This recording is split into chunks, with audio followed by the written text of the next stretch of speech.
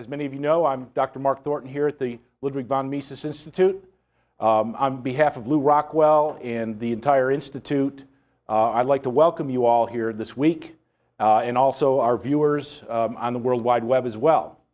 Um, our conference this week is on the fundamentals of economic analysis, a causal realist approach.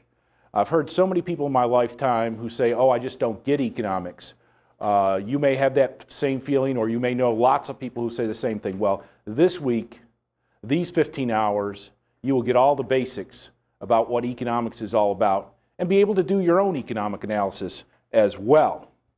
We have two speakers this week. Our first speaker is Dr. Joseph Salerno. Uh, uh, Professor Salerno is a uh, senior fellow here at the Ludwig von Mises Institute. He's the director of the Mises Summer Research Program. Uh, he's a professor of economics at Pace University, and he is the editor of the Quarterly Journal of Austrian Economics. Our second speaker this week is Dr. Peter Klein.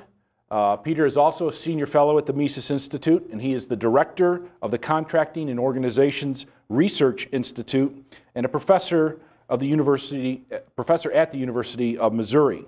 Both our speakers this week are known star teachers in graduate business economics. Uh, Professor Salerno will begin the week with a lecture on scarcity, choice, and value. Joe? Thank you, Mark. Uh, good morning, everyone. Uh, let me say a few words by way of introduction about the title um, chosen for the lectures. In particular, why the subtitle? What does it mean to say it's a causal realist approach? Well, really, it refers to a broad movement in economics that began when Carl Menger wrote his great Principles of Economics in 1871. And it flourished and, and really dominated economics uh, through World War I and uh, began to diminish in the 1920s. Um, included not just Austrian economists, okay, so we, we wanted a broader ap approach. Um, it included others that, that followed Menger in, in, in, in America, Sweden, uh, Italy, um, the Netherlands, and France, and some of the famous names were, were, were Clark, Fetter, and Davenport in the United States, Wicksteed in Great Britain, uh, Augusto Graziani in uh, Italy, uh, Leroy-Beaulieu in France, and many, many others. Now, Menger um, emphasized that economics was a unified science involving the search for cause and effect relationships or causal laws that would explain the prices, wages, and interest rates that are actually observed.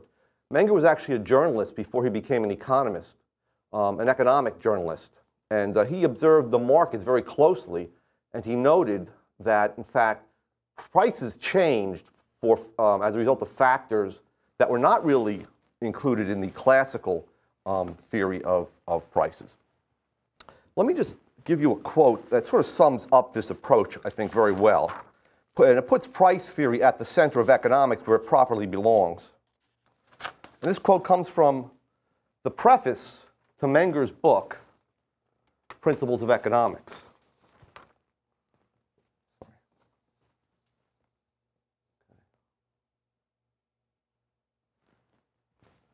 And it says, I have devoted special attention to the investigation of the causal connections between economic phenomena involving products and the correspondent agents of production, which we would call factors of production or resources, not only for the purpose of establishing a price theory based upon reality, and placing all price phenomena, including interest, wages, ground rent, together under one unified point of view, but also because of the insights we thereby gain into many other economic processes heretofore completely misunderstood.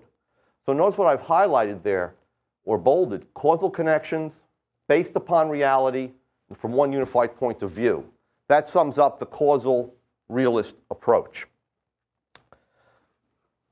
Now, what happened to this approach? I don't, this is not a history of thought um, seminar, but I do want to say just a few words about what happened to the approach. Um, because that's certainly not the approach that's reflected in um, current day textbooks. Um, as I said, the, the, the uh, causal realistic um, approach to, to economics became really an international enterprise, okay? And, um, and, and most economists were involved in it. Unfortunately, it veered off the track. The economics profession veered off the track in the interwar period, in the 1920s and especially in the 1930s. And there were three factors that led to this. First of all, um, Alfred Marshall in, in the United Kingdom or in Great Britain um, introduced through a very famous and, and much used textbook written in 1890, he introduced partial equilibrium analysis that focused on business firms in particular markets, okay, while abstracting from or ignoring the unity of all economic phenomena. He also tended to downplay the role of the consumer and of consumer demand. And his work was extremely influential and pretty much swept Great Britain between uh, 1890 and 1910, or World War I, and then in the United States became the dominant theoretical approach by the 1920s. Okay. Uh, a second factor that led to the decline of this causal realist approach was a shift from explaining actual prices, or prices that we actually observe, prices that, for example, Matt actually paid for that Dr. Pepper today. Unless he took it free from the Institute. Um, actually observed price. Yeah, there is a free lunch here. Um, actually observed prices. Okay, now it shifted focus from that, explaining those things, okay, which Menger ha had insisted on, to explaining equilibrium prices um, that we find in the model of perfect competition. Now that, was, that model was formalized, introduced into economics by the American economist Frank Knight in the 1920s. Um, by the 1930s, the uh, economics profession had not, not, only veered off track, but had actually jumped the tracks. Uh, by then, we had the monopolistic competition revolution. What that did was to um, portray almost every single real world firm, except maybe a tiny farmer in Iowa, as charging monopolistic prices. Then we had the Keynesian revolution shortly thereafter, a few years later, and that severed the connection between laws governing the microsphere of consumers, firms, uh, and markets, and it propounded sort of a new and contradictory principle or set of principles to explain macro phenomena like uh, unemployment, depression, inflation, as if these things were not um, in, uh, intimately tied to the price system. Okay. And finally, we had the rise of, of mathematical economics in the 1930s. Uh, that had pre previously been, well, I want to use the word cult, but a small sect in, in, on continental Europe, um, uh, especially in the French-speaking Switzerland and, and France. Okay? And suddenly, when it made its way to uh, Great Britain and then to the US, um, it exploded in popularity. All right, so by the 1950s, economics was definitely on the wrong track. Okay? And there's a, a wonderful quote by um, someone named Townsend introducing a, a, a, book of readings on, on modern price theory in 1970 or 71.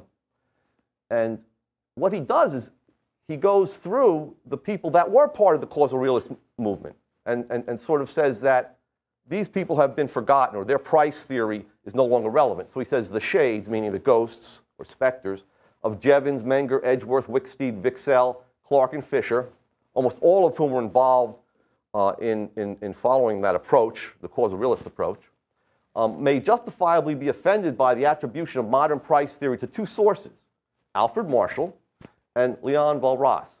But these two scholars have had far and away the most influence on 20th century thought, and that is absolutely true. In contrast with Marshall's down-to-earth struggle with the interpretation of the detailed working of the economy, stands Walras's grand construction of general equilibrium. In a typical British or American textbook on price theory, nine-tenths of the content stem from Marshall's work, general equilibrium only getting a notice in the last chapter appendix. That's still pretty much true for undergraduate textbooks.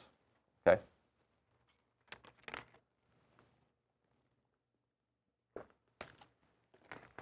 Now, the course that we will be giving is what, what you would have gotten in college okay, or in contemporary universities, had this tragic diversion of economics not occurred. Okay?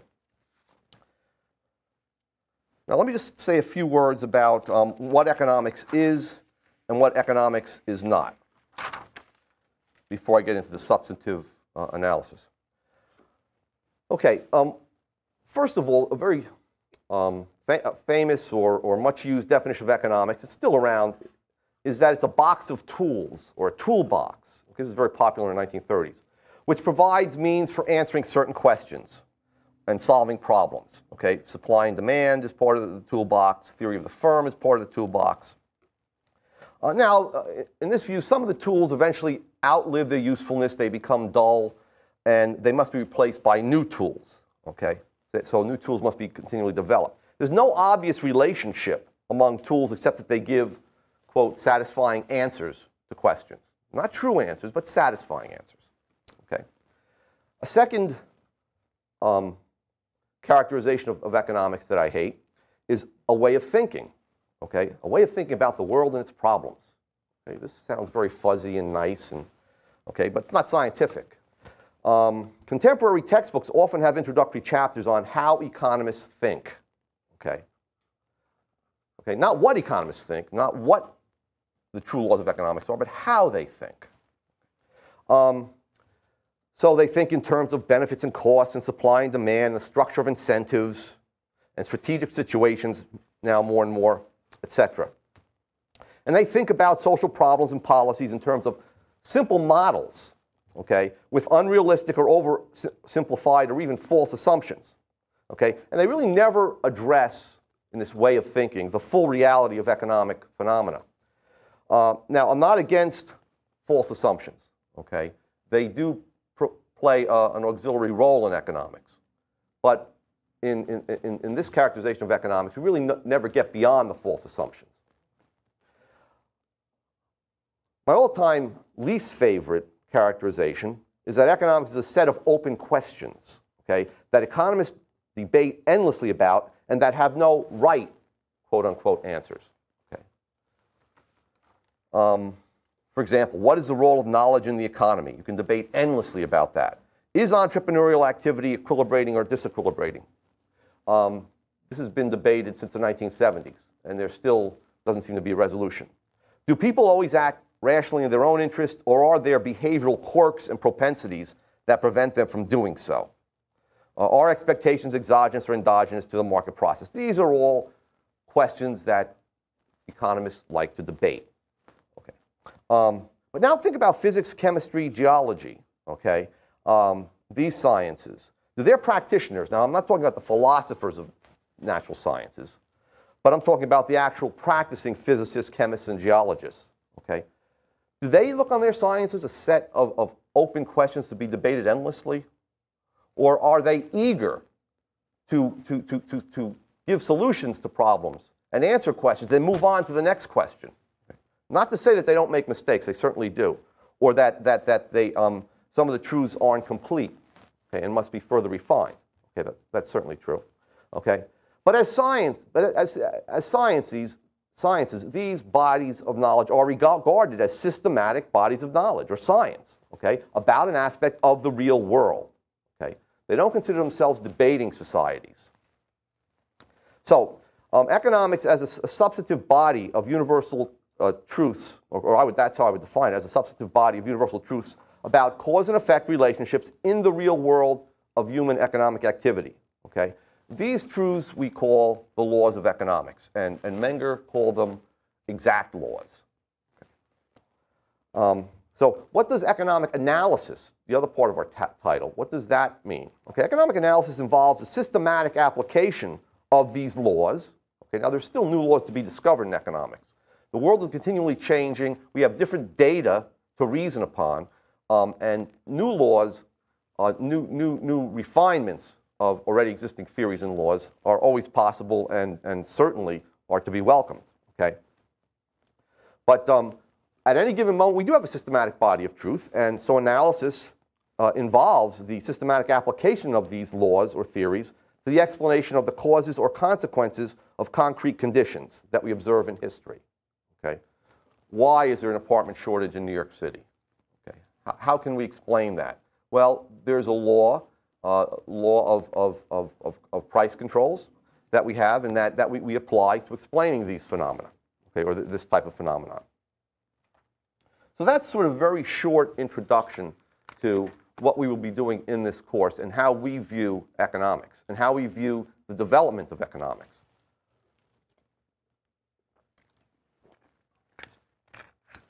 Now, we start with a very mundane insight, but nonetheless very, very true, and that is that it's a fact that people are continually striving to achieve goals. Okay? They ceaselessly seek to improve their conditions as, as they see those conditions, okay? They struggle to satisfy their wants, or in, in, in, in, in, Mises' words, they uh, want to remove what's called felt uneasiness, okay? That's a little bit awkward, so I, will avoid that term. Um, what does that mean? That means that humans are imperfect and unfulfilled beings, okay? A perfect being wants nothing because want literally means defect or lack. Okay, so because we're imperfect beings, we have wants that we're continually striving to, to satisfy in order to improve conditions. But in order, when we, as soon as we say act, we mean that people consciously use means to achieve their ends. Okay? Um, you attended this seminar.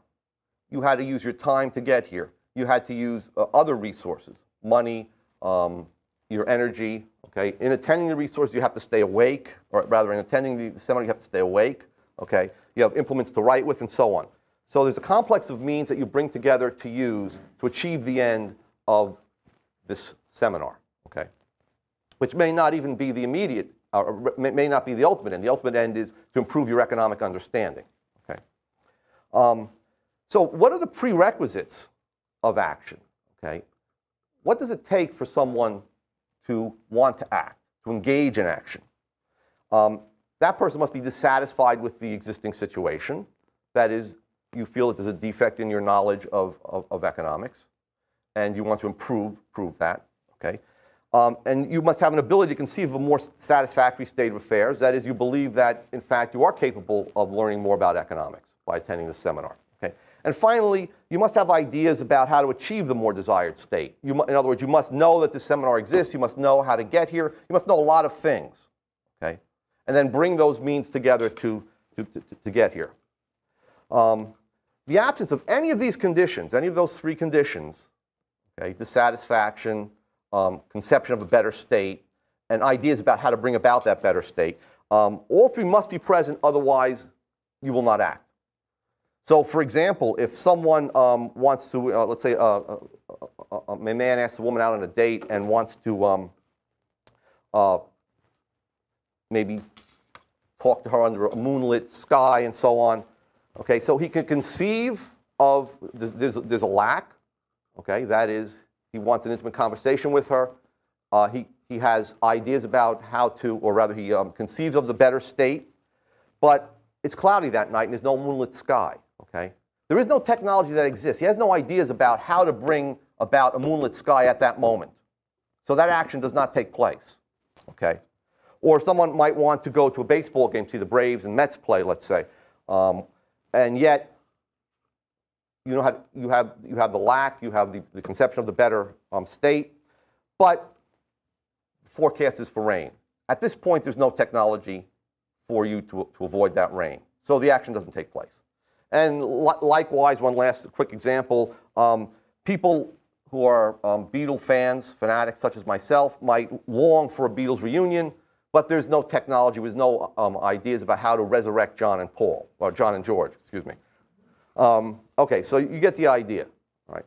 Um, again, it goes back to the point that, that individuals are, or human beings are imperfect beings, okay? And that the stimulating um, factor in acting is the lack of something that you have ideas about how to um, overcome. Okay, so let's get to scarcity. Um, action implies that all human wants are not instantaneously fulfilled, and that means are therefore scarce, okay? We say that a thing is scarce when there is not enough of it to fulfill every human want for it. Okay? So things like hamburgers, CDs, BMWs, okay? Anything that in a market economy has a price is indeed scarce. No matter how abundant they get, okay? We never live in a post-scarcity world. We always have scarcity with us. That's the vale of tears that was referred to in the Bible, okay?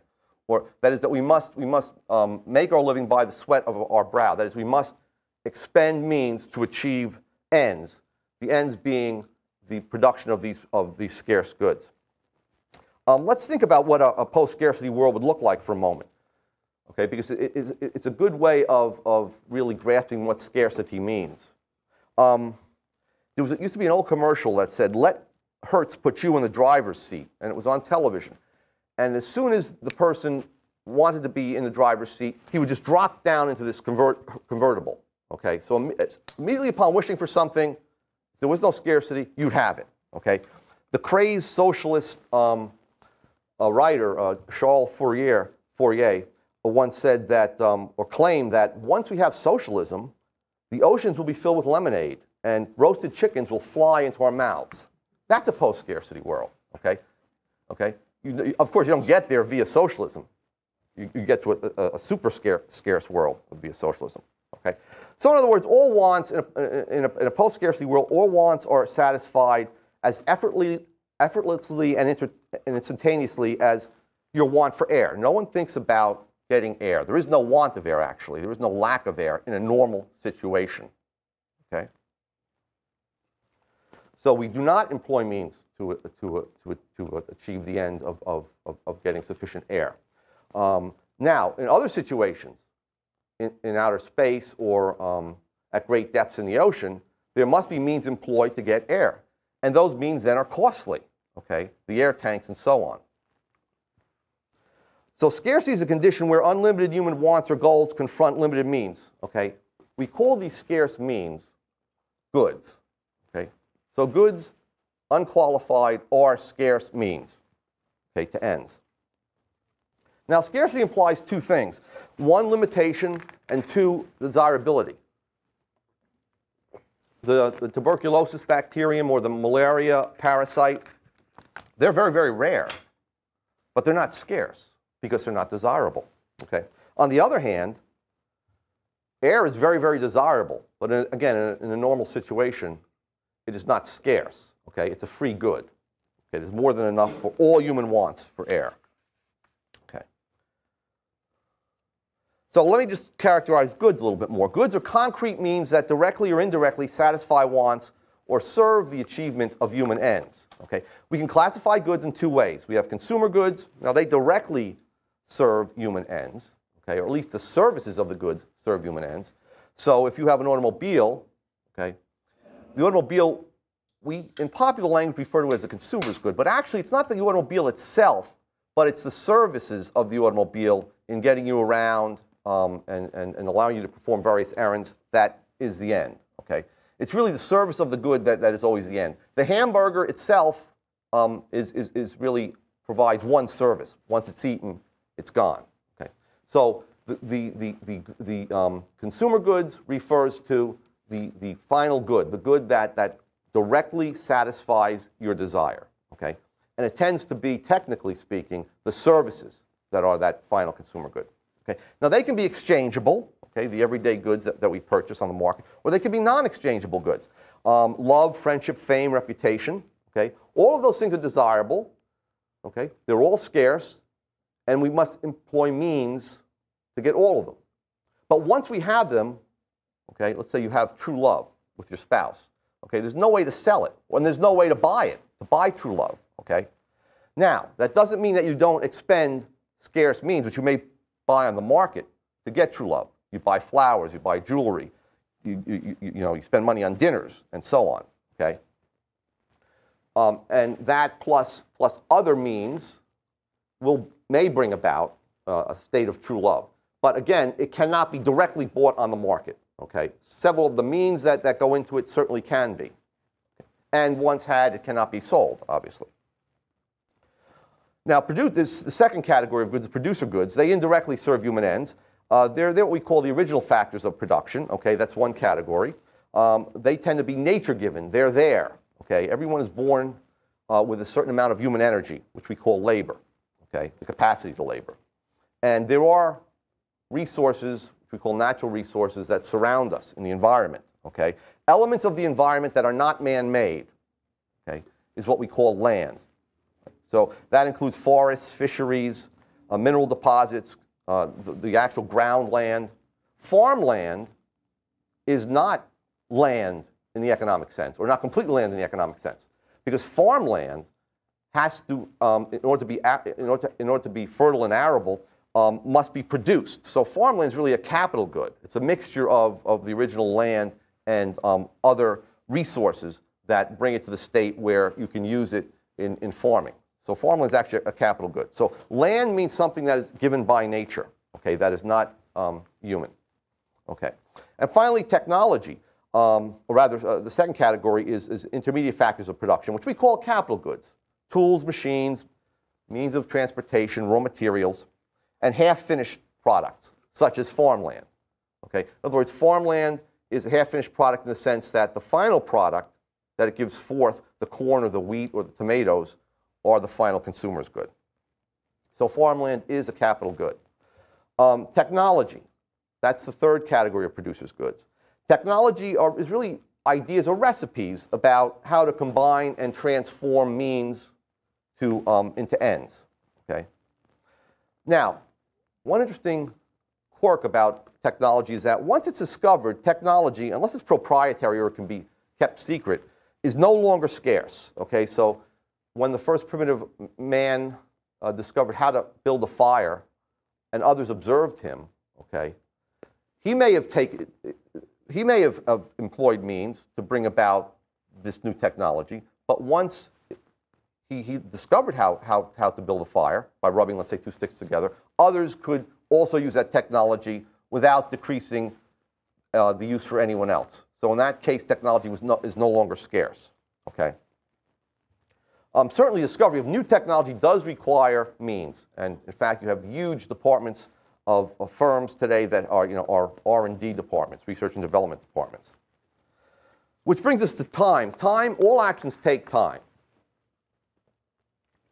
They begin in the present and they end in the future, okay, or they aimed at some point in the future. And uh, therefore, time is a scarce means, okay? This implies immediately that human, human actors prefer to achieve their goals as quickly as possible, okay, all other things given, okay, or all other things equal. The universal preference for attaining um, the uh, one's end sooner rather than later is called time preference. Okay? Now, let me give you a, an implication of what it would be like to have a negative time preference, to give you a better idea of what time preference is. Um, I'll give a few implications. Well, let's say that you have a frozen dinner that, that, will, that will last for a long period of time. And when you go home this evening, you're hungry and, and you want to consume that frozen dinner. Okay? But if you had negative time preference, that is, if you preferred to have your ends achieved in the future rather than the present, at the point of eating that dinner, you would say, you know what, I value this dinner more tomorrow than I do today. So you would, you would never, you wouldn't eat it. But then when tomorrow came, you would make the same judgment. Okay, so you would never eat. Okay, you'd never eat that frozen dinner. Okay, you'd never use any durable good, any good that could be used in the future, you would never use it now. Okay, why? Because you have, uh, uh, all other things equal, you have a preference for it in the future. Let me give you another example, which I give my undergraduates. Um, let's say someone wants, a man wants to ask a woman for a date, and um, so he gets up the courage, he goes up to her and says, uh, what are you doing next week? Uh, can we get together? And she says, uh, oh, I'm busy next week. And he says, well, what about, you know, in two weeks? And she says, no, no, I'm, I'm, busy. She says, um, you know, I'll, I'll, be, I'll be visiting friends. And he says, well, um, you know, what about next month? Can we make plans in, in advance so that you know, you're not locked into any other social engagement? She says, you know what, I'm busy next month. So, he, so let's say he then says, well, when can I see you? And she says, well, maybe five years from now. Okay, now in a world where there's real time preference, that's a brush off. We interpret that as a brush off, okay? In a world of negative time preference, he prefers that date five years from now. Says, that's great. In fact, that's better than, than going out tonight. So, you know, he writes it in his, his date book. Okay, um, uh, so, uh, so anytime one acts, it demonstrates time preference because it pulls one's goals closer in time, okay? Even if those goals are far off. Let me give you an example, or even if those goals take a long period of time to achieve. Um, let's say you want to, be, uh, you, you, you, want to um, produce a, a very fine wine. It takes 10 years, okay, to do that. The point is, time preference comes into play because you begin to produce it now. As soon as you begin to produce it now, you pull into the present, or you pull towards the present, towards you, the production of the wine. You could always postpone it. Okay? It would always be 10 years away from any given moment. So you could postpone it into the future for years and years and years if you had negative time preference. But if you have positive time preference, and this is high on your value scale, as we'll talk about in a moment, you will embark on the production process. That shows time preference. Um, if someone wants to become a surgeon and knows that they face four years of pre-med, three years of, of, of medical school, and then two or three years of, of, of, of, of training in a specialty, and, and a year of an internship. That's the eight or nine years in the future. Once again, because that person enters college as a pre-med student, that person is showing that time is scarce, that he'd rather become a surgeon sooner rather than later. Okay? Technically or technologically, he can't become a surgeon for eight years, but he's embarked on the project and shown that time he'd rather um, uh, achieve that goal, let's say, sooner rather than later. Okay. Now let's talk a little bit about production. Okay. It, when human beings are simply uh, uh, uh, confronting nature, okay, nature is very niggardly, meaning very stingy. Okay, it doesn't yield its fruits easily to human beings, which means that human beings have to rearrange the elements of the environment to make the environment more productive okay, and to increase their standard of living. Um, so very few goals can be um, uh, realized without production. So production, remember, is driven by the need or the want to satisfy, or, or by the, the, the, drive to satisfy wants. Okay. Now, one thing that production is not, and this was pointed out in 1802 by Jean-Baptiste Say, who was a subjective value theorist, it is not the creation of goods and services. Okay. Um, Say said, look, only God can create. Okay, men can only rearrange, transform.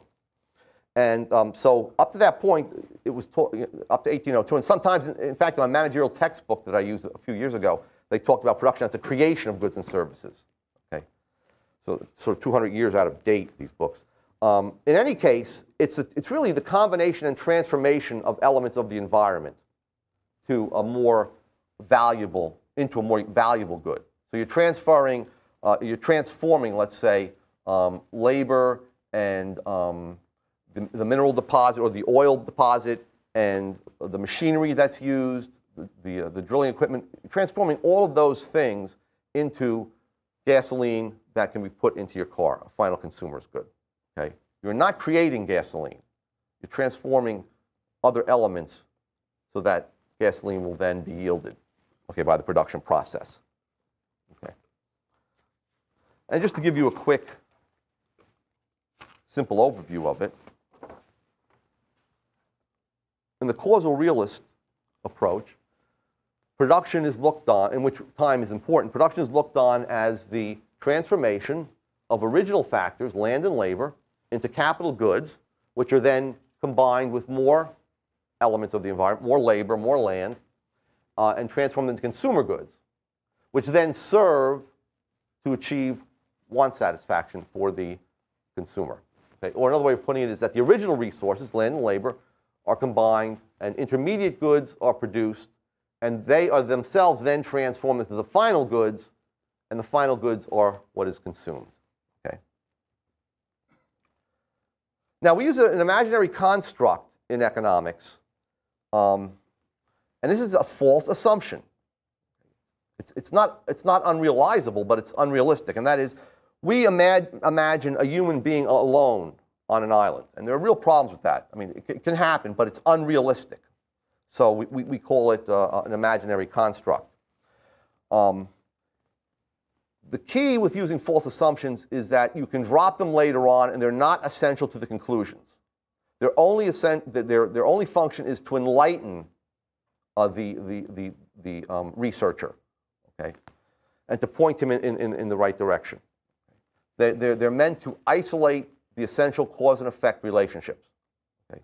If you drop them, like if you drop the assumption of perfect competition, and, and, and, and you find that, that everything changes if you suddenly assume rivalrous competition, then that, that model has no function. Okay? The perfectly competitive model is not wrong for economics because it's untrue or false. It's wrong because it absolutely has no function. It doesn't shed light on the essential cause and effect relationships in the real world because of many of the assumptions that it makes.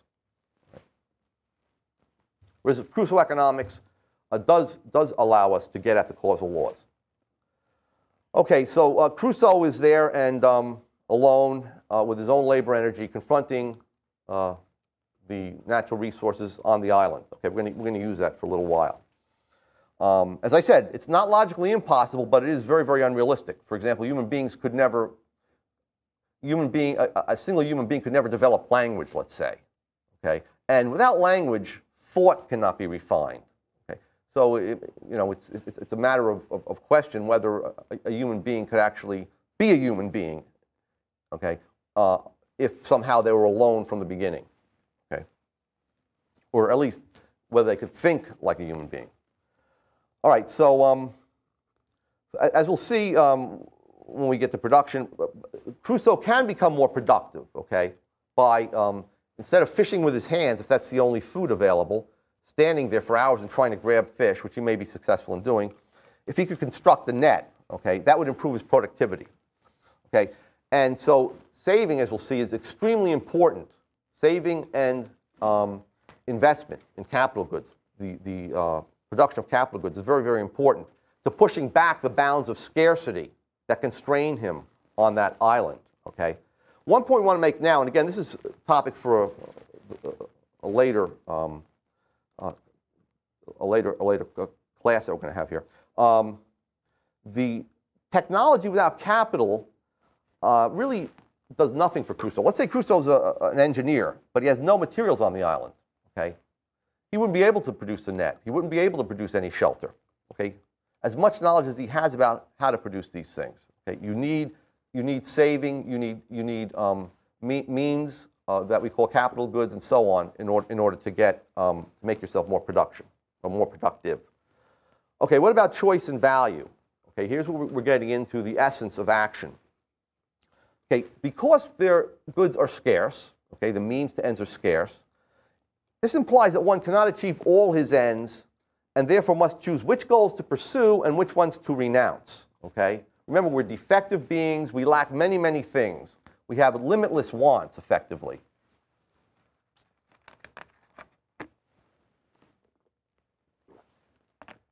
But the means for achieving these wants are strictly limited at any given moment in time. They're finite. So we must choose which wants to satisfy with our means and which wants to renounce or to forego. Um, so ch this choice presupposes a ranking of ends okay, according to their importance to the individual chooser or actor. And this involves a subjective valuation of which end will yield more satisfaction, which end will yield less satisfaction. Um, this subjective ranking of ends we call a value scale. Okay.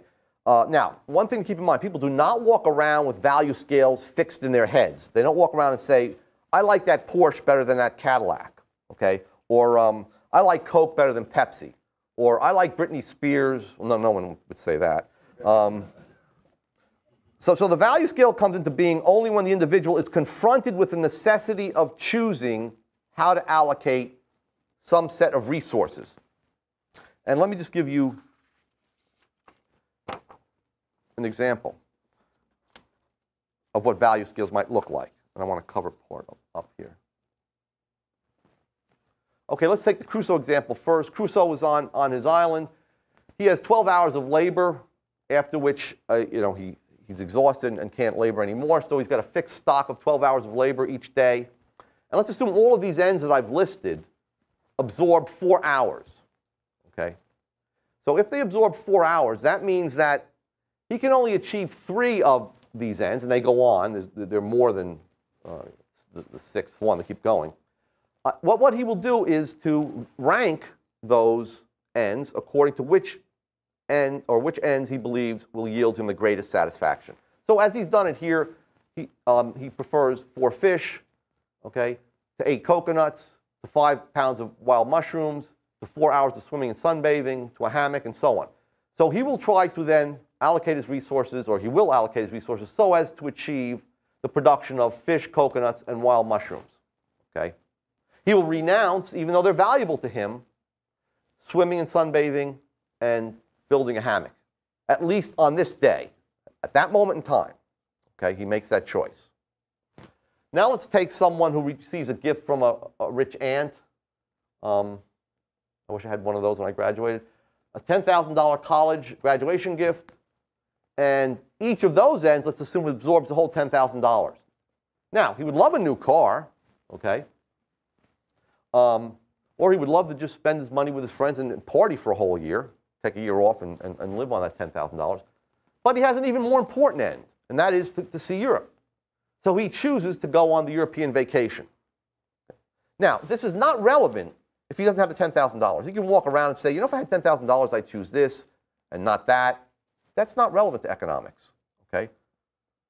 It may be true, people might psychologize and, and, and, and, and, and think about these things, but it's not relevant to price formation. Okay? The actual choice is relevant to how prices are determined and what those prices are. In any case, in this example, he then chooses the European vacation.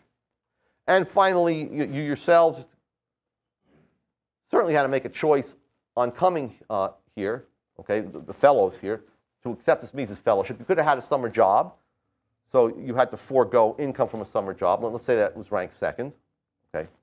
Um, or you could have spent the summer at, at your family's lake house, or you could, again, partied with your friend. That's always a popular thing. Um, so you have demonstrated by being here as summer fellows that you've chosen this end, that this is most important to you. Okay. Uh, now, there's a few things, properties of value scales that we want to talk about. Um, first of all, value scales are strictly ordinal. They cannot measure the value between, or the value difference between different ends.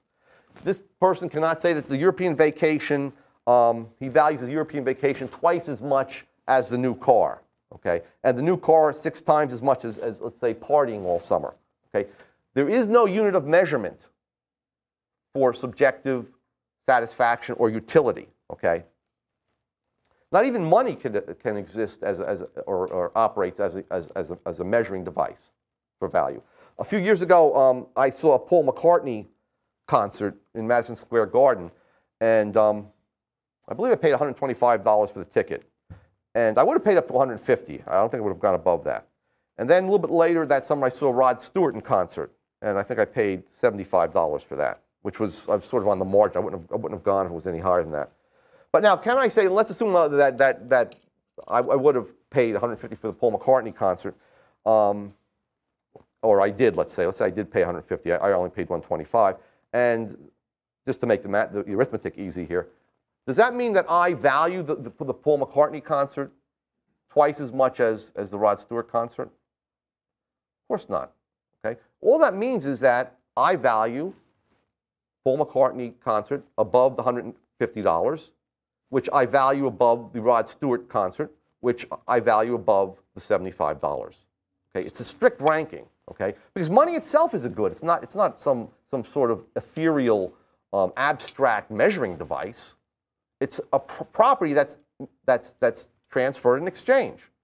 Every exchange in a market economy, in a developed market economy, always involves money as one half of it.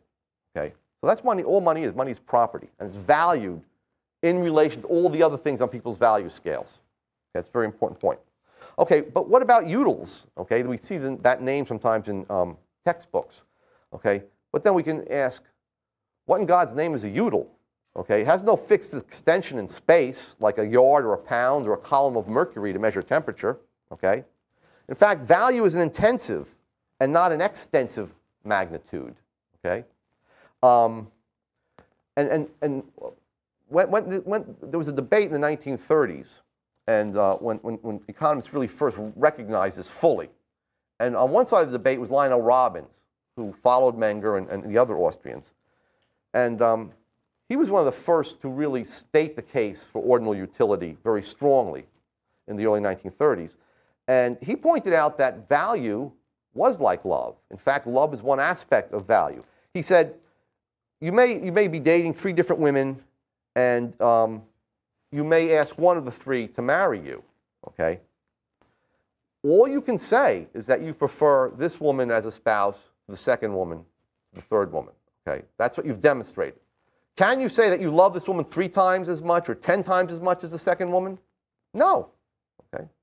But in this case, you're choosing, uh, you're choosing a spouse, and that choice is made as a result of an ordinal ranking okay, of, of, of, of, these women as potential spouses. And value in any aspect of life is no different than this. There's no way to measure the differences in value between your, the things that you desire. Um, sometimes you hear economists say, uh, use the term maximizing utility. Okay, now that means nothing more than to choose to allocate scarce means to the highest ranked ends on your value scale. So, the uh, new college graduate maximizes utility by spending the $10,000 on European vacation. As fellows maximize utility by coming to the Mises Fellowship for the two months rather than spending those two months uh, in a summer job, let's say. The other thing that keep in mind is that value scales do not just apply to, quote, economic ends. In fact, strictly speaking, there are, not there are never economic ends. Okay? There's no such thing as economic ends. Okay. Economics is a relationship okay, so, uh, between a means and ends, between uh, scarce means and, and uh, unlimited ends what we must point out is that all ends are ranked and compared on a value scale, whether they are material, cultural, spiritual. Uh, to give you an example, well, a biblical example, Judas Iscariot chose 30 pieces of silver over his loyalty to Jesus. Okay, so we compared loyalty to Jesus to, to, to, to a certain sum of money. He may not have done it for a lower sum of money, okay, but he sold him out, as we say. When you sell someone out, that's being done as a result of, of your value scale, of valuing the material end more than what you might want to call the spiritual end, okay? But that doesn't matter. As human choosers, all ends are in there and are, and are compared ordinarily, whether we like it or not. Um, you might take uh, the case of a woman who must choose to spend her evening either caring for her children, volunteering at her church, or in part-time uh, employment to supplement uh, funds for her, her kids' college education. Okay? So there are material ends mixed with spiritual ends, mixed with uh, you know, ends that are related to the family and, and, love and so on. Okay? And she might very well choose to, to spend her, her, her um, uh, evening working okay? on, on, on given evenings.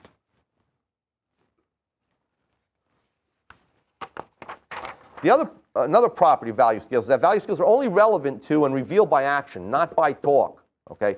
let's say someone says, uh, you know, I love my wife and family, and um, I, I am committed to putting uh, aside a certain amount of money uh, for, my, for my children's education, uh, for have, putting good food on the table, and so on.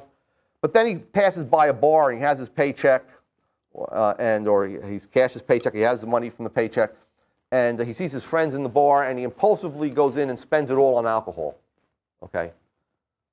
Well, um, was some, some economists, may, even today, would say he's departing from his true value scale, okay, which is, is that that money is best spent or maximizes utility by being spent on education and, and good food for his children and so on. Okay? No, he hasn't. Okay, he may have done this for, for the whole year, for uh, uh, you know months before, but now he's, he's changed his mind. His value scale has changed. We are not prisoners of our value scales despite what we've done in the past or how we've committed ourselves to acting in a certain way in the future, okay, what's relevant for economics is how we do act in the, in the future. He's demonstrating that he prefers drinking that alcohol with his friends to putting aside money for family needs. Okay. Um, another property of value scales is that only the actor can know his own value scale. He only reveals a small part of it in action. Okay. So if Matt purchased that, that Dr. Pepper today, he's demonstrated that he values that Dr. Pepper to, let's say, the $1 he paid for it, or, and anything else he could get for that dollar, okay, at that point in time, okay? Um, we must also keep in mind that value scales are liable to continual and rapid changes. People, as I said before, not prisoners of their value scales because value scales don't exist apart from action. They come into being at the moment that we are forced to decide how to use resources. Okay? That is at the moment of choice. One other thing to keep in mind is that when economists say that people choose rationally, they do not mean that their choices are selfish, hedonistic, ethical, responsible, calculating, legal, moral, non impulsive, or non self destructive. They simply mean that the action is purposeful Okay? If it means anything more than that, it has nothing to do with economics. Okay? That is to say that people consciously choose means to achieve highly desired ends, or their most highly desired ends. Uh, the heroin addict, the bank robber, the suicide, um, all of these people are acting rationally in the economic sense. Um, the bank robber doesn't use a banana to hold up a bank. He uses a gun. He uses means that are adapted to achieving the end. Uh, the suicide doesn't jump off a, a two-foot stool. He jumps off a bridge. Okay? He's acting purposefully. The, and, and similarly with the murderer and so on. To say that these people are acting irrationally is to impose a value judgment on what they're doing. Okay, now um, let me get to the concepts of psychic, psychic revenue uh, and cost, psychic profit and loss. Um, now, remember we pointed out that all actions take time and they're aimed at improving conditions not now, but at some point in the future. It could be a few minutes in the future, okay, or it could be years in the future. And it's improving conditions that, compared to what would have emerged in the future, if you did not act in that way. So that's the sort of comparison you make. Now, because all action is future oriented, it involves uncertainty. We never know completely how the future is going to develop. We know many things about the future. It's just plain wrong to say that the future is completely unknowable. Okay? That's, that's incorrect. We know many, many things. We know, for example, the law of economics will operate in the future. Okay? We also know many things about people close to us through what Mises call thymology but which is simply um, interacting with other people. We gain understanding of their characters and so on. So, for example, uh, I know that when I, I, I come back from uh, Auburn, that my wife will not have cleaned out the bank accounts and moved all the furniture out of the house and be gone. Okay? I know that. I mean, I, from knowing her character. Okay? Um, or from understanding. Okay? Understanding. Um, for character. Okay, um, now, there's, let me just define these terms very quickly and then I'll, I'll give you an example of what I'm talking about. Um, psychic benefit of revenue is the expected satisfaction from an action. So the psychic benefit um, is the uh, expected satisfaction from the European vacation.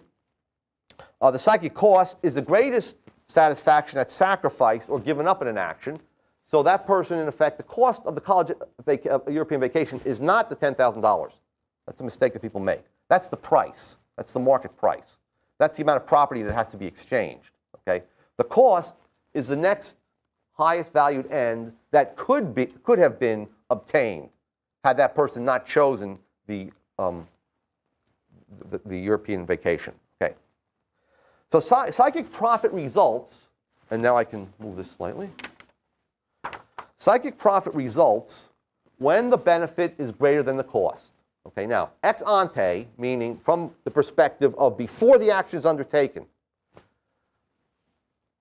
benefit always is greater than cost because otherwise the person would have not acted in that way. If he really believed that the new car would give him more satisfaction than the European vacation, then they would have been switched on his value scale and he would have chosen the new car. Okay? The fact that he didn't means that he believes benefit is greater than cost. Now, ex post, after the action, he could make a mistake because of the uncertainty. Um, it could turn out that he was right, benefit was greater than cost, and he's, he, he's happy with his action. Okay, this is, this is uh, the term regret crops up here. Okay, people have regrets all the time. The reason why they have regrets is because of uncertainty. They didn't know how things would turn out, and they, they chose wrongly. Now, if he regrets going to Europe, if there's a, you know, because of the Iraq War, there's a huge wave of anti-Americanism um, there, um, and it's bad weather, and they don't like the food, and so on, and they come back and say, you know what, I should have bought that car, okay? Well, then in that case, there was a psychic loss, okay? That is, the benefit was less than the cost. They wasted resources. They chose something that had a lower value than they believed it would have. Had they, had they do, if they were to do it over again, they would have chosen differently. Now, we all, we all know people that continually regret their actions. Some people are better at making choices than other people. Those people, the people that are, that are consistently better at making choices, are good entrepreneurs okay, in their daily lives. People are consistently mistaken in making their choices. Somebody who, who, who, who um, is continually switching their major in college or, or even switching. I knew someone who, who, who was at his third college by his junior year when I was, when I was there. That person is a bad entrepreneur in, every, in the everyday life sense. Okay?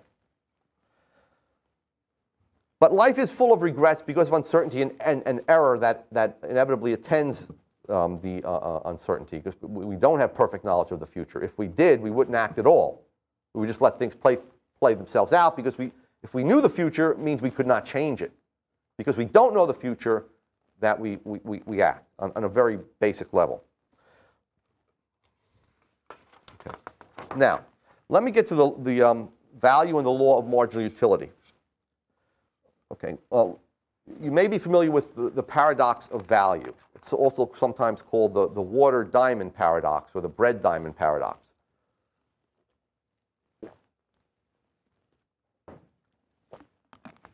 And this paradox bedeviled British classical economics from 1776, when, when Adam Smith wrote, until 1870, when it was finally resolved fully by um, Carl Menger. The paradox goes as follows. Bread, let's use bread. Bread has a high use value, but a low exchange value relative to diamonds, okay? Um, which has a low use value and high exchange value. Meaning that bread sells for a low price on the market, but bread is a staff of life. I mean, bread give, you know, sustains life.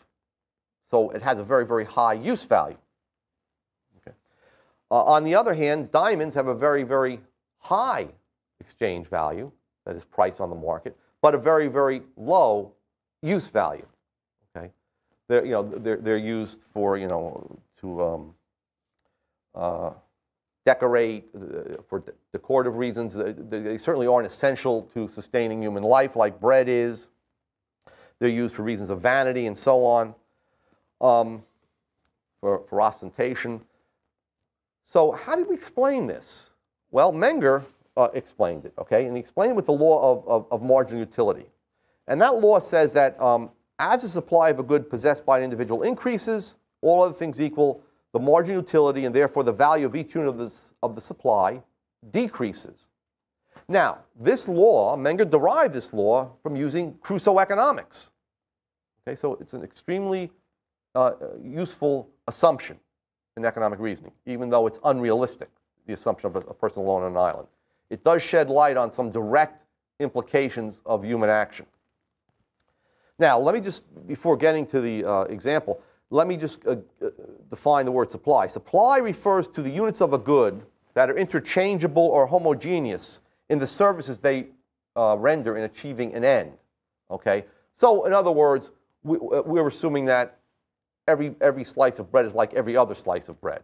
Okay? They all have the same nutritional content and so on. Okay? or at least from the point of view of the actor, they, they have the same uh, nutritional content. So the example I'll give you is, and, and it's based on Menger's example, not exactly his example, but it's based on his example, is the following. Let's say that um, these are his ends, okay, and there are many more than six, for sacks of wheat. Okay, he's just harvested the wheat uh, on his island, and let's assume that he has five sacks. Okay, and each one of these ends will absorb a full sack of wheat over the course of the year until the next harvest. Okay? So the most important end, to, uh, according to Crusoe, is to sustain his life for the year. But he needs a second sack of, of, of, of wheat to, to bake bread to, to keep him healthy. Okay? One sack just barely keeps him alive. Um, third, he wants to stay alive for another year, so he's going to use one sack for the next harvest. Okay? He's going to use it to plant for next year.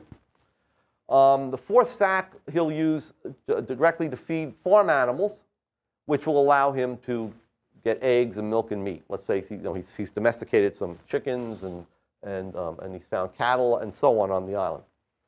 And um, fifth, okay, he's kind of lonely, so he's going to, to, to, to, transform the fifth sack into vodka, okay, for some, you know, some entertainment.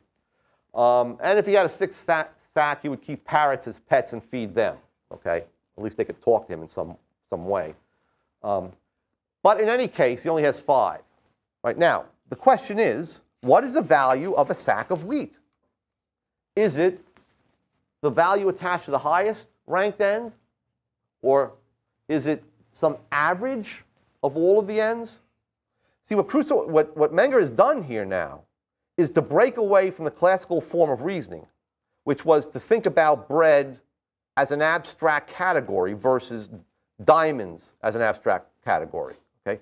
He's looking at it in terms of concrete units that the actor is choosing to allocate.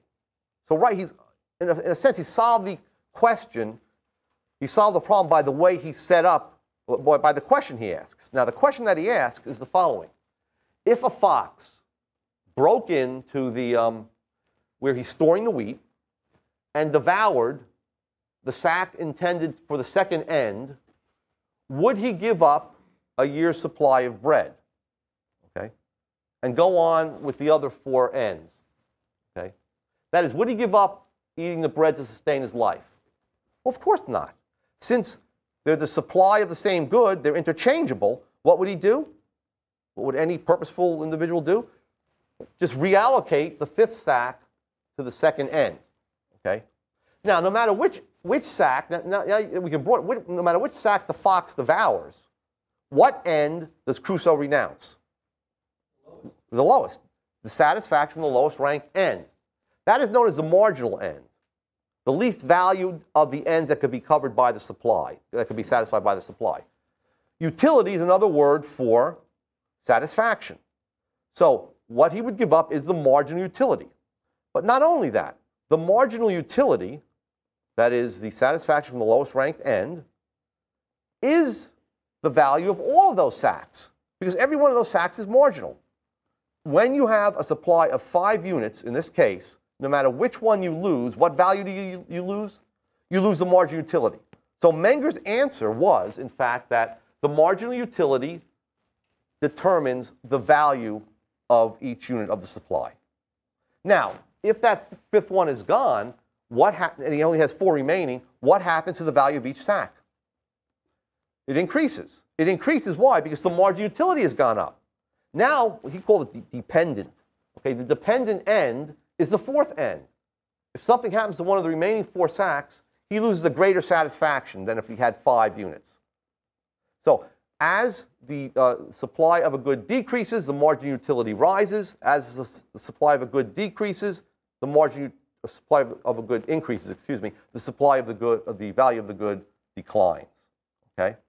Or the, the margin utility and the, the value of the good declines. The value depends on the margin utility. The margin utility depends on the supply, okay? Now let's um, change example a little bit and uh, posit the following um, scenario. Let's say there's a farmer who has two different supplies. He has three horses and two cattle, okay? They serve different ends. They're not interchangeable. The question is, looking, and that's his value scale. He can, he'll use the first horse that's most important to him for plowing, the second horse for plowing. Makes his burden easier if he has two horses pulling the plow. Um, third end is milk for the year, which, which he would get from the cow. And the fourth end is, is to slaughter uh, a second cow for beef. And the fifth end, because he has a third horse, is um, for pleasure riding. Now his barn is on fire. And he can only save one animal. Okay? Well, obviously he's going to sa save the less, uh, uh, uh, he's going to save the more valuable animal. Which animal does he leave behind in the barn? Well, forget about looking at the top you look at which animal has the lower margin utility. And that animal is the, the least valuable animal, which is what? Horses have lower values than cows in this situation because their margin utility is lower.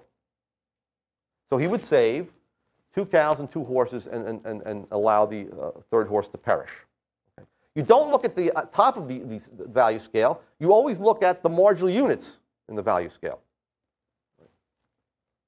Now, once that's happened and he's left with two horses and two cows, which animal has a great, greater value, a horse or a cow? The horse does. The horse's marginal utility is higher than the cow's marginal utility. Okay? Okay. So, the solution of the paradox of value is again to focus on people's actions in allocating concrete units to specific ends. Okay? It's not to focus on abstract classes of goods and to say, well, of course water is more important than diamonds, or of course bread is more important uh, than diamonds. Well, that's not true. Why do diamonds have a higher, higher value? Because in relation to human ends, in a normal situation, they are much scarcer than bread or water. Okay? You can always change the example, okay, and, and, and, and, and, and, and uh, come up with a situation in which someone would, in fact, trade, uh, let's say, a pint of water for, for a diamond. Um, let's say someone has been in the, uh, the desert for three days and ha hasn't had any water, okay? So he's on the point of, of, of dying of thirst. Um, and uh, let's say that this person is Kobe Bryant and he has that $8 million purple diamond that he bought for his wife uh, when, um, to make up for his infidelity. Um, okay, so would he trade that diamond for one pint of water? If he comes upon someone who has a pint of water after having not had water, consumed water for three days? Of course he would.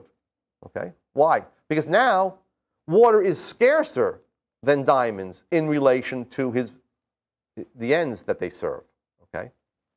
So the reason why, fortunately, water has a lower price and bread has a lower price than diamonds is precisely because it's so abundant in relation to our ends. Okay? Um, now, what about total utility? Um, if you've had economics courses, total utility is often defined as the integral of um, all the all the all marginal utility. Okay, um, or marginal utility is, is, is, defer, uh, is, referred to as a derivative of, of the, um, the total utility. Okay, it, they, it's in term they, they try to add up or to um, integrate uh, utility as if it was some substance. Okay, but or, or, or, some unit, which it's not. Okay, according to um, the causal realistic way of looking at things. Um, the margin utility of a, the entire supply of a good of an individual is the total utility. Okay, so if, if someone approached Friday, uh, I'm sorry, Cru Crusoe was approached by Friday, second person on the island, who had a horse, and um, he was uh, asked if he wanted to trade for, for the five sacks of wheat, then he would compare the utility of the total supply. Okay, we would call that total utility. If he made the exchange, it implies that he, he, he, he um, values the horse more than the five uh, sacks of, of, of wheat. Okay, so you might look at something like this.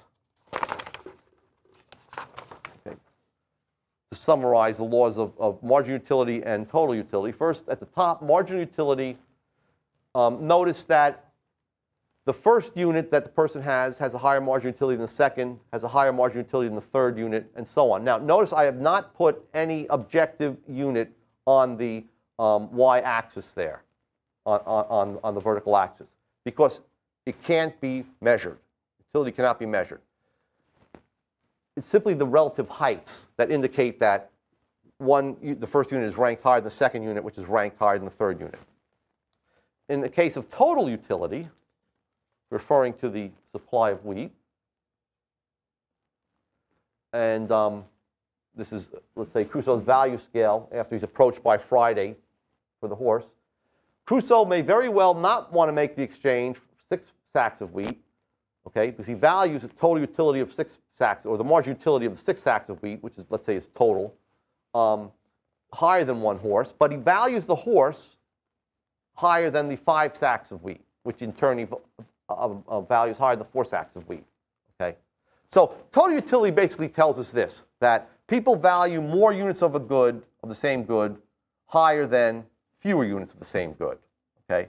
So you would rather have four cars than three cars, and three cars than two cars. Right? So basically, it's, it's just simply saying that with more units of a good, you can satisfy more ends. That's what total utility is telling us. Okay? The notion of total utility. It really has no other function. Right? You, oh, whenever choice is made, you're dealing with the margin utility of the total supply if you're exchanging all of your wheat for a horse. Okay, I will end there and then take questions. Yes? You say that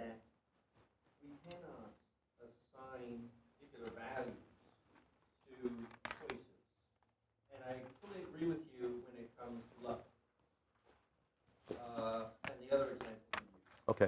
However, is there not a significant difference between that sort of feeling or choice on the one hand and on the other hand, the other example that you gave, namely the ticket prices?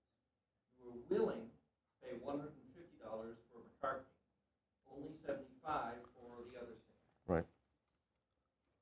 Does.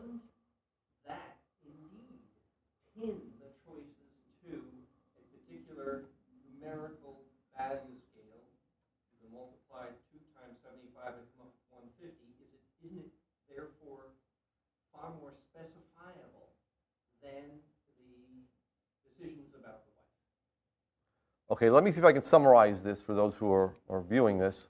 Um, doesn't the fact that goods are exchanged for money give us some idea of the objective amount of difference in value between different goods? Objective to you. Well, my, my answer to that is that, again, we, we, we, we, we often forget that money is, pro, is property. It's a species of property. It's a kind of property, okay, that we own, okay? Um, and that when we have an exchange in a money economy, uh, a sum of units is, uh, uh, of this property is being ch- exchanged for sum of units of other property, okay? Um, so uh, to, I don't want to have to, you know, I don't want to re, uh, repeat myself um, and, and, and, and, sort of sidestep your question. But um, what I would say is that, once again, it's really like change, uh, exchanging four apples for one plum, uh, rather, let's say four plums for one apple, or um, eight plums for one orange. Doesn't mean we like, just because we're willing to ch- exchange twice as many plums for the orange as we are for the apple, doesn't mean we, we somehow value the orange twice as much as, as, as, as the apple. Why not? Now, now oh, because plums themselves are, are, are, are, are, are simply goods that have subjective values. Okay? Well, what we can say is, well, what has actually happened? That we're willing to pay twice as many plums for um, an orange as we are for an apple. And the same thing is true with ticket prices, for example. Willing to pay $150 for a McCartney ticket, but only $75 for a Rod Stewart ticket. Okay? let me put it in, in another way that money obeys the law of marginal utility like any other form of good. Okay? And in fact, money itself is subjectively valued. The reason why we value money is because um, we know that we can exchange it for other things. Okay? So, also, we know that there's uncertainty in the future, and we may not know exactly when we're, we're going to be getting our money income, and we might know, not know exactly when, for example, we- we're going to make expenditures on various things. So, we will always hold some money in uh, our cash reserves, in our cash balances, um, as a result of a decision between spending the money on other goods now and holding it for the future. Okay, so what I'm trying to say is that money is also, uh, or our holding of money and our getting of money, is also the result of, of these ordinal decisions um, that we make according to margin utility. I don't know if I've, I've, I've completely satisfied. Money is just, just like anything else. Because we can count it in units, because it's more finely divisible, let's say, does not mean that it becomes a measuring rod. Because ultimately, between you and me, let's say, there's different, we put place different values on money vis-a-vis other goods. Okay? Okay, I think we had hand there. Back to his question, Yes. it comes down to how do you look at money? Do you value one hundred and fifty dollars twice as much as you value seventy-five, which is probably not, just like you wouldn't, if you had two loaves of bread, you Right. wouldn't value that necessarily twice as Right. much as one loaf of bread because you don't need the second. Th- That's a very, very good point. In other words, you never, the law of marginal utility says that you do not value two units of the same good twice as much as the first unit, or only one unit. Why? Because the, the second end, the end fulfilled by the second unit, is, has a lower value. And, and the point you make about money is, is absolutely correct. Okay? That you, you value the first $75 more highly than the second $75. So you cannot add them up and say, well, now uh, $150 is twice as valuable as $75. There's no way to say that. It's not because of the law of marginal utility. So that's a, that's a very uh, instructive point. Um, yes. You made a point to say that production is not the creation of goods and services, rather it is the combination of labor and nature to transform elements into goods and services. Correct. And I was trying to get my head around that and was just trying to think, well, what is the political significance of this distinction? And um, do you recognize the idea of political economy as a, a, um, a valuable term, or like, or do we does uh, is the Austrian school doing political economy, and is there a political implication to this distinction between the creation of goods and services and the transformation of elements into goods and services? Okay, the question re- refers to uh, the conflicting definitions of economics as a transformation, a, combination transformation of resources into final goods and services uh, uh, versus the creation of, uh, of, of goods and services. Um, and what are the implications for political economy? Well, I, I don't really see any direct implications, though I do see a, certain implication, and that is the following that since transformation and combination take time, and, and, and creation doesn't give you that feeling of time, um, it implies that some people are going to have to save and invest for this transformation to take place. Those people, as we'll see in a later lecture, are the capitalists. So, in other words, once you talk about production as, as transformation, combination of transformation, then you're, you're bringing in a function for the entrepreneur, who's the one who combines these um, uh, elements of the environment, and, and, and as well as intermediate goods, and the capitalist, okay, or the capitalist aspect of the entrepreneur, who is the one who waits for his income during the period in which the transformation of these elements are taking place, that is, during the production process. So actually, yes, you're right. It's actually a, a penetrating question. There, there are implications for political economy. And I think you had your hand up? Well, go just back to the first question. Right. If, if, I believe you said you would be willing to pay one hundred and seventy-five dollars for the first, Ticket, right? and uh, you probably, maybe you could have, if, if you would have been able to go see uh, Rod Stewart, or whatever his name, for uh, much less, then you would have those two dollar amounts, and if you compared those, Right. you'd have an entirely different uh, number. So uh, the, the point being made is that um, in, in the example of tickets, paying $150 for, for, for uh, McCartney and $175 for, for Rod Stewart, um, the uh, dollar amounts could be compared in ratios. Is, is that what you're saying? Yeah, but if you, you said you'd be willing to pay more. Right. And uh, so forth, the ratio would change then, but in your mind Oh, so forth, you, you were willing to. Oh, yeah, okay, that's a good point. Um, the, the willingness, the, the, paying for something versus the amount you would have paid, which, and, and- and fortunately for us, is, is generally much higher than the amount we would have paid. The, the difference between what you actually do pay and what, and what you're willing to pay um, is what's called consumer surplus. Now, that has a quantitative connotation in the mainstream economics, okay, the wrong branch of economics, okay. But in Austrian economics, it's a useful term, consumer, consumer surplus, but it simply means that you have, um, uh, it's just simply a sum of money, that, that is, with, with no connotation of measuring the value, okay? That, it, it- simply allows us to specify a maximum selling price, a maximum buying price that someone uh, has in mind um, eh, versus a price that's actually paid. So what, what competition does, by the way, is to drive down prices, competition and among different brands and so on. It drives down prices uh, so that we, we don't have to pay uh, our maximum buying prices okay, for, for any given good. Any other questions? Comments? Objections? Expletives? Yes. You use the concept of marginal value, or value Right. That is a mathematical concept. you also apparently Mhm. um, reject the mathematical term that the economic profession took starting, I guess, in the thirties or so. Don't you see, isn't there a contradiction here? You yourself are willing and even need these concepts to Right. define uh, marginal value. And in fact, Menger introduced the notion. Right. Why not then affirm the systematic use of such concepts and thereby affirm mathematical economics? Okay, the question is why not, since I used the word marginal, and it was introduced by Menger, actually by his follower Wieser, actually used the term marginal. Um, and since it does have, in one of its definitions, and one of its uses, a mathematical connotation, okay, or, or it is a mathematical concept, why not uh, accept that and affirm the legitimacy of using mathematical economics to discover economic laws?